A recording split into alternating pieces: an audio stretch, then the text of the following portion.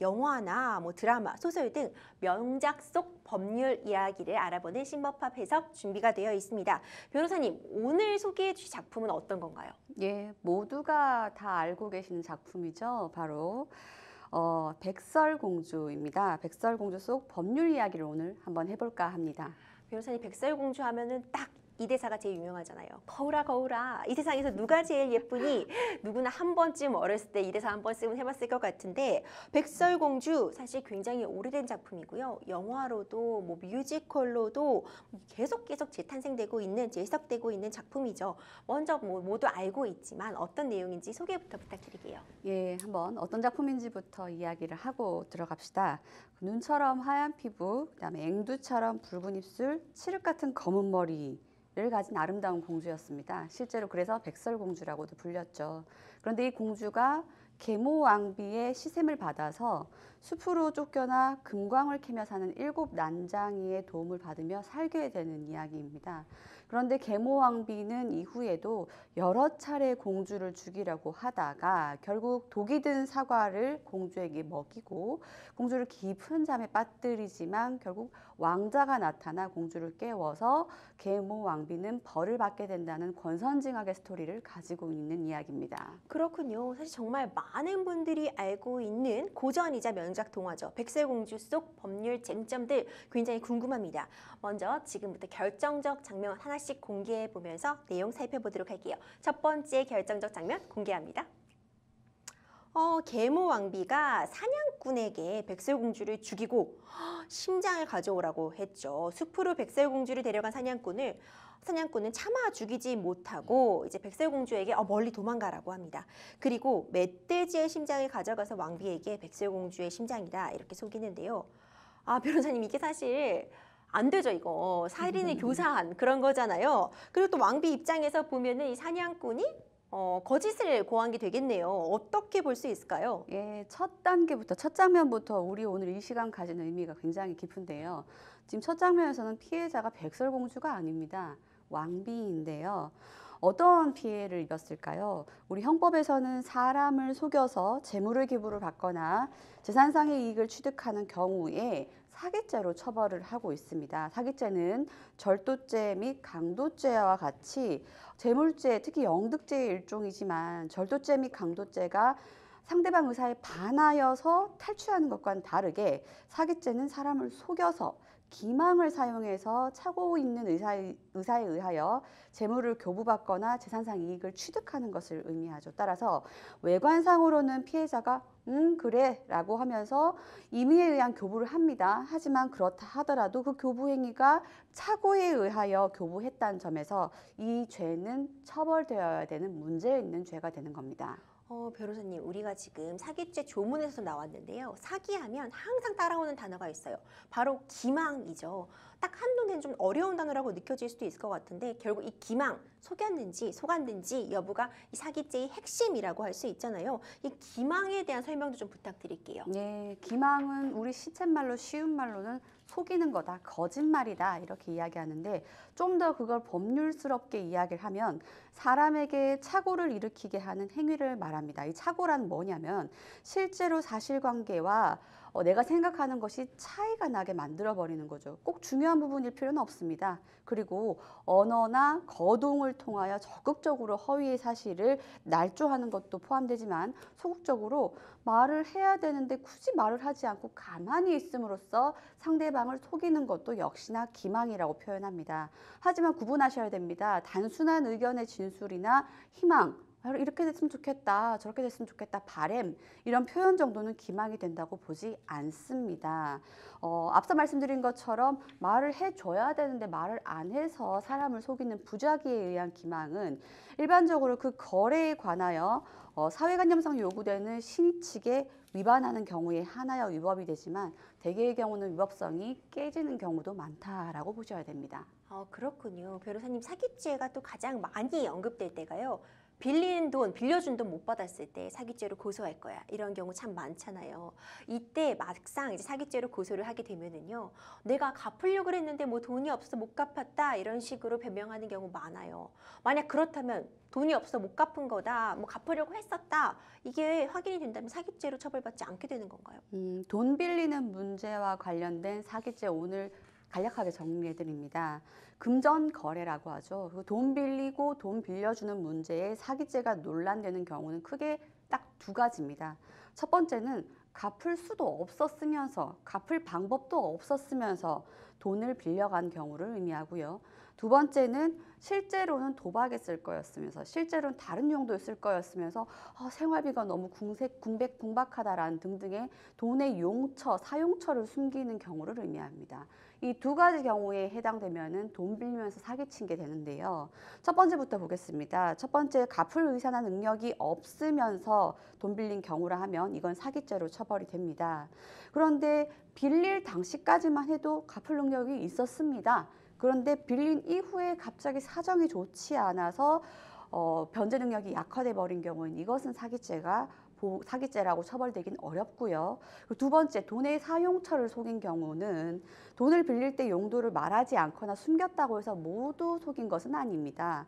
어, 피해자가 빌려주는 돈의 진정한 용도를 알았더라면 안 빌려줬을 것이다 라고 하면은 사기죄가 되는 거죠. 대표적으로 돌려막기죠. 내가 빌려준 돈을 다른 사람 돈 빌려주는 돈 변제하는 데 쓰였다 돌려막기에 쓰이고 있다고 하면 빌려줄 사람 하나도 없지요. 이런 경우는 돈의 용처를 속인 사기죄가 됩니다. 그렇군요. 어, 굉장히 중요한 내용, 사기와 관련된 내용을 또 백설공주를 통해 배워보니까 굉장히 흥미롭네요. 다음 쟁점 넘어가 볼게요. 다음 결정적 장면 함께 보시죠. 어, 다음 장면입니다. 숲속을 헤매던 백설공주가 어떤 집을 발견했어요. 도움을 청하고자 똑똑 그 집에 들어갑니다. 근데 집에는 아무도 없었죠. 배가 고팠던 백설공주는 이제 모르는 사람 집에 들어가서 있던 음식도 먹고요. 침대 위에 잠도 잡니다. 어, 그러고 보니까 사실 굉장히 문제가 될 만한 장면이었네요. 집주인의 허락도 없고요. 무단으로 남의 집에 들어온 백설공주. 이거 우리 지금 현대적인 관점에서 보면 주거 침입 해당하는 거 아닌가 이런 생각 들거든요. 예, 참 문제 많네요. 그러고 보니까 실제로 형법에서는 타인의 주거에 허락도 받지 않고 무단으로 들어가는 경우를 주거 침입이라고 처벌하고 있습니다. 형법 제319조 보겠습니다. 사람의 주거 관리하는 건조물 선박이나 항공기 또는 점유하는 방실에 침입한 자는 3년 이하의 징역, 500만 원 이하의 벌금에 처합니다. 그리고 설령 이와 같이 들어갔다 하더라도 나가주세요라는 퇴거 요구를 받고도 퇴거에 응하지 아니한 경우에도 주거 침입과 똑같이 처벌됩니다. 어, 백설공주의 외관상 그렇게 위협적인 외모를 가지진 않았습니다만 어쨌든 허락받지 않고 들어간 것은 현행법상 엄연한 주거 침입죄, 나가라는 말을 듣고도 안 나갔다면 엄연한 퇴거불응죄로 처벌이 됩니다. 그렇군요. 우리가 주거 침입죄 알아봤는데요. 주거라는 단어, 이 용어에 대해서 조금 더 알아보고 싶어요. 흔히들 주거라고 하면 먹고 자는 곳 이렇게 떠올리게 되는데 이 형법에서 말하는 주거는 또 다른 점이 있지 않을까 궁금하거든요. 예, 지금 어, 그림에 나왔던 것이 바로 일곱 난장이들의 주거인 거죠. 주거라는 것은 사람이 거주하고 침식에 사용하는 장소를 의미합니다. 건조물인 경우에는 그 주위의 대지, 그러니까 집 주변에 바로 보이는 저기 앞마당 같은 곳을 다 포함을 하는데요. 사람이 사는 주거여야 하겠죠. 사람의 주거라는 타인의 주거, 즉 자기가 그 공동 생활의 일원이 아닌 주거를 말합니다. 그럼 내 집이 아니라는 거죠. 그리고 사람이 간수하는 곳이라 하면은 사실상 관리 지배를 뜻하고 함부로 타인이 침입하는 것을 방지할 만한 인적 또는 물적인 시설이 있는 것을 말합니다. 마지막으로 저택이라는 말도 좀 나오죠. 생소한 용어인데요. 저택이란 사람의 주거에 사용하기 위한 건조물 그리고 그 주변을 둘러싸고 있는 조금의 대지, 주위 대지를 말하며 현재 주거에 사용되고 있지 않은 경, 것에 한한다고 봅니다. 그리고 마지막 건조물이란 공장, 극장, 창고 등과 같이 주거용이 아닌 건조물을 말하는데요. 점유하는 방법을 두고는 건조물 안에 사실상 지배 관리하는 일구획을 말한다라고 봅니다. 그렇군요. 어, 주거라는 개념이 이해가 가는데 그럼 이런 것도 궁금해요. 왜 우리 아파트에는 엘리베이터 같은 거 설치되어 있고요. 계단 같은 것도 있잖아요. 이런 엘리베이터, 계단 이런 부분, 공용 부분 같은 경우도 주거로 볼 수 있는 건가요? 예, 다가구용 단독주택이나 다세대 주택, 연립주택, 아파트 등 공동주택 안에서 공용으로 사용하는 부분이 있죠. 예를 들면 뭐 엘리베이터, 계단, 복도 이런 곳에 들어간 걸 이걸 주거 침입이라고 봐야 될지 아니면 사람이 실제로 전용하는 부분은 아니니까 주거 침입이 아니라고 봐야 될지 혼돈스러울 수 있는데요. 이러한 공용 부분은 각 가구 또는 세대의 전용 부분에 필수적으로 부속하는 부분이라고 봅니다. 그리고 그 거주자들에 의하여 일상생활에서 감시, 관리가 예정되어 있고 사실상의 주거의 평온을 보호할 필요성이 있는 부분임은 명백합니다. 다가구용 단독주택이나 다세대 등등의 엘리베이터 공용 계단과 같이 특별한 사정이 없는 한 이러한 곳은 주거 침입죄의 객체인 사람의 주거에 해당하고요. 위 장소에 명시적 무시적 의사에 반해서 거주자 의사 반해서 침입하는 경우는 역시나 주거 침입죄에 성립이 됩니다. 다만 판례는 이 부분에 대해서 상당히 좀 어, 여러 가지 다른 의견을 좀 내고 있어서 좀 혼돈을 불러일으키는 것도 사실인데요. 뉴스에 보도되었던 바와 같이 새벽에 귀가하는 여자를 따라간 남자가 공동주택의 복도 를 지나서 여자가 집에 들어가자마자 문을 열려고 시도한 것에 대해서는 주거침입죄 인정했습니다. 공용공간을 주거침입 대상이라고 본 것이죠. 그런데 또 다른 사례에서는 엘리베이터나 공용공간에 들어간 경우만으로는 주거침입죄에 해당하기 어렵다라고 보는 경우도 있어서 좀 혼돈스러운 부분이 있긴 합니다. 판례적 역시나요. 그렇군요. 일곱 난장이들은 백설공주를 환영해 줬어요. 하지만 만약 일곱 난장이가 내 집에서 나가라 했는데 백설공주가 못 나가겠다 하면은 또 현재적인 관점에서 해석해 보면 뭐 퇴거 불응죄 같은 거 얘기해 볼 수 있지 않을까요? 네, 좀 전에 말씀드렸던 것처럼 퇴거 불응죄도 성립을 할 뻔도 했어요. 어, 백설공주가 처음에 적법하게 들어갔습니다. 들어갔는데 들어가는 건 문제가 없었습니다. 그런데 퇴거 요구를 받고도 나가지 않음으로써 성립되면은 성립되는 범죄를 퇴거 불응죄라고 하는 거죠. 앞서 말씀드렸던 주거 침입과는 분명한 차이가 있습니다. 처음부터 불법적으로 침입한 경우는 퇴거 요구에 응하지 않을지라도 그저 주거 침입죄만 성립되게 될 뿐인 거죠. 퇴거 요구를 받고 퇴거에 필요한 시간이 충분히 경과하였음에도 불구하고 퇴거하지 아니함으로써 퇴거 불응죄는 비로소 기수가 됩니다. 한 가지 죄가 완성이 되는 거죠. 어, 가령 임대차가 해제된 임차인의 주거에 가옥 소유자가 그러니까 집 주인이 명도를 요구하러 침입하는 것을 자력구제라고 볼 수는 없지만 채권자의 강제 방문과 같이 그것이 사회상규상 허용되어 있는 경우에는 위법성이 탈락되는 경우도 있습니다. 그렇군요. 굉장히 이 백설공주를 통해서 여러 가지 개념들을 좀 쉽게 이해해 보니까 어, 귀에 쏙쏙 또 들어온 것 같아요. 어, 다음 결정적 장면 함께 만나보시죠. 아, 제일 유명한 장면입니다. 어, 백설공주에게 독사과를 먹이게 됐죠. 이거 살인 미수 아니죠. 사실 백설공주가 다시 깨어나긴 했지만 원래 죽었던 거잖아요.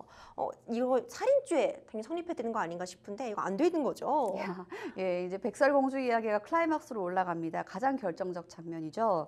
어, 형법이 이야기하는 살인죄부터 봅시다. 형법은 고의로 타인을 살해하여 생명을 빼앗는 행위, 즉 살해 행위를 처벌하고 있습니다. 특히 죄가 죄인이만큼 상당히 무거운 형량을 어, 기록하고 있죠. 사람을 살해한 자는 사형, 무기 또는 5년 이상의 징역에 처합니다. 5년 이하가 아닙니다. 5년 이상입니다. 심지어 살해의 대상이 직계존속인 경우에는 더 가중 처벌도 되고 있습니다. 이처럼 사람을 살해하여 사망이라는 결과를 야기함에 있어서 그 수단과 방법은 불문을 합니다. 타살, 사살, 교살 등등 모두 다 살해의 방법으로 문제가 되고 이러한 방법으로 사람을 살해했다면 살인죄로 처벌이 되는 거죠.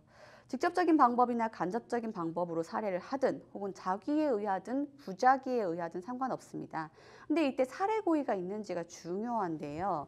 살해 고의라 하는 것은 행위 객체에 대해 단지 사람이라는 인식만 있으면 족하고 행위에 대해서 사망이라는 결과에 뭐 인용이 있으면 족한 거지 고의적으로 계획적으로 뭐 범하려고 했다 그런 것까지 요구하는 것은 아니라고 보아야 합니다. 어, 그렇군요. 사실 이 왕비는요, 전에 사냥꾼, 사냥꾼을 시켜서도 백설공주를 한번 죽이려고 했었고, 이번 독사과 사건도 그렇고요. 어, 이거는 사실 살해의 고의가 당연히 있다고 볼 수밖에 없을 것 같아요. 예, 백설공주 스토리에 일맥상통하게 흐르는 것이 왕비의 백설공주에 대한 살해의 의도인 거죠. 근데 결과적으로 백설공주는 죽지는 않았습니다만 사망의 결과에 이르진 않았습니다만 어, 이 사람은 그러니까 이 왕비는 독이 든 사과, 사람이 치사에 이를 만큼 충분한 독이 든 사과를 먹게 했고 그러면서 어 이거 독이 든 사과가 아니야라고 거짓말을 했기 때문에 뭐 살해의 고의에 대해서 부족함이 없다고 보입니다. 그렇군요. 변호사님, 마지막으로 이거 굉장히 중요한 내용일 것 같아요. 이 왕비는 죽이려고 했어요. 살인의 고의가 있었어요. 그리고 죽은 줄 알았죠. 그런데 이제 왕자님의 키스로 백설공주가 깨어나게 됩니다.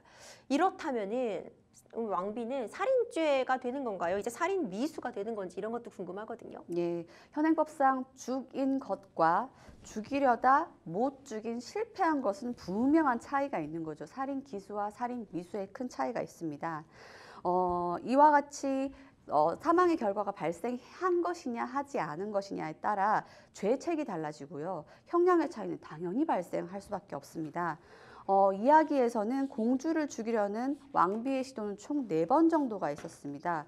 공주는 매번 숨이 끊어지기도 했는데 어쨌든 살아났죠. 살아났기 때문에 우리 판례는 사망의 결과가 발생한 때에야 비로소 살인죄 완성된 범죄로 처벌을 하지만 어, 이 상황 같은 경우는 사망의 결과가 발생하지 않았죠.